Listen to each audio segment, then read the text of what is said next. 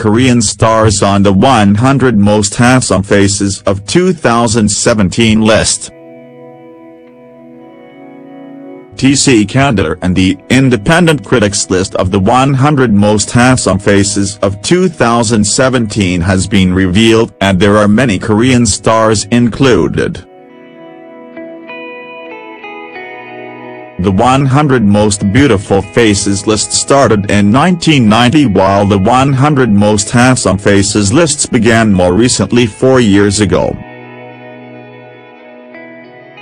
While the rankings of the list are widely contested, the list continues to receive much attention year after year. The list gained interest in Korea after After School's Nana was selected as the most beautiful face in 2014 and 2015. One goes to BTS's V. Check out the rankings for Korean stars and foreign K-pop stars below. Soompi. Display. News. English. 300 by 250. Mobile. English. 300 by 250. ATF. Liu